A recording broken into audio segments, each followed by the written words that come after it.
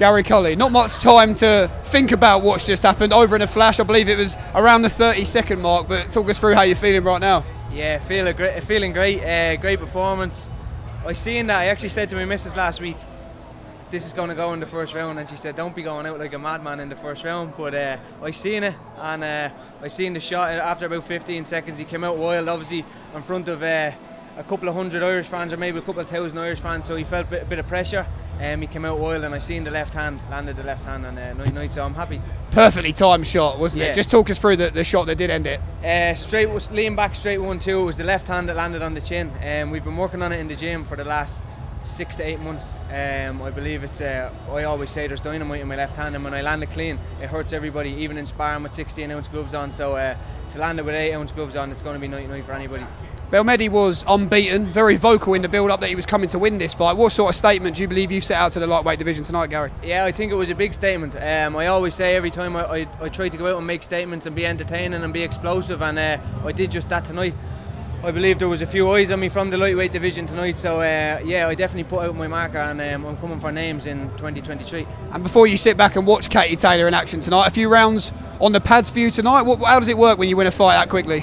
Yeah, I'll be back in the gym on Monday morning, I suppose, for a bit of sparring. Uh, the guys, we've two two gym mates fighting on December 10th, so I'll probably be back. I took no damage tonight, so I'll be back probably late next week for uh, to do a couple of rounds with the lads. But no, look, I'll enjoy the night, enjoy a couple of days off, enjoy Katie's win, and uh, hopefully we can get back to Croke Park for a massive night next year. Of course, absolutely. I do. I'm going to come to talk to you about Croke Park just in a second, but following the Vazquez win, following tonight, this was obviously your first official fight as a matchroom fighter, and you've certainly put your stamp down. You strike me, Gary, as a type of fighter who isn't interested in easy touches, albeit you made that easy tonight. You know, you want to be in with a big name soon. Yeah, I've always said that. That I don't want to be kind of hanging around. Um, I want to take step forwards in my steps forward in my career all the time. Um, Vazquez was a big step forward. I made a statement, and obviously Eddie seeing that and was impressed, signed me, and I wanted to make a big statement to, to show him, prove him right tonight, and I think I did that. Um, and I've always said I want to be, I want the biggest names and the biggest fights, and I believe I'm uh, in the right place with Matchroom and the performances I'm putting in. I'm on the way to do just that. So. And in terms of yourself, Gary, big, tall, array of skills, a southpaw, can obviously punch. You look the part, you talk a great game as well, and you back it up. I think Ireland and, and boxing as well have got someone to really get behind and get excited about. Yeah, I believe so. Um, I've always seen, especially over the last couple of years since I turned pro, I've seen myself as Katie's leading, leading Irish boxing, but especially obviously the women's game and uh, women's boxing. But I, I kind of see myself as the male version of Katie now. I, I see her as a massive role model, and um, I want to follow in her footsteps. And when she leaves the game, I want to be the next one to, to take the throne, should we say? It's really been talked about, hasn't it? The potential rematch with Amanda Serrano landing at Croke Park next year.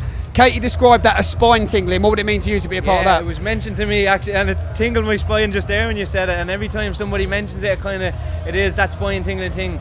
Um, I've always said that will be magic. It's a, it's real life magic. It will be history for Ireland. My kids will be reading about it in their history books if it happens. So uh, I think Katie deserves it. I think the Irish public deserve it, and uh, I hope we really do get to see it because it will be a massive, massive night for boxing and for Ireland. And in terms of that stage, it would be huge. So likely would mirror a big fight for yourself. Is there any names domestically that you're interested in? I know you were you were sitting watching uh, Kid Galahad against Maxi Hughes, of course, and half having an eye on that type of guys. Is that is that who you're after? Yeah, well, myself and Maxi was actually made back in 2020, and uh, COVID came around and it, it got cancelled. But Maxi's a great guy and a great fighter.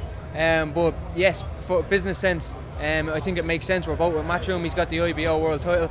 Um, so it's definitely a fight that I'm interested in and a fight I would like for co-main event in Croke Park. Myself and Maxi um, to co-headline Katie and Serrano will be absolutely huge. Great stuff, Gary. I just wonder if you have a final message for all the Irish watching back home, and of course all the Irish who were in the arena for you and Katie tonight. Thank you to everybody who came out and supported. Thank you to everybody who bought a ticket. They made some noise in there tonight. Um, it's not full in there yet, but it will be. And uh, thank you to everybody tuned in. And it's just a matter of time before we're back in, in Ireland, either filling Croke Park or filling the 3Arena. So I'm looking forward to it. And there's some exciting times ahead for Ireland and for boxing. Gary Cully, fantastic performance. Well done to you, mate. We'll see you back Thank you, soon. mate. Top man.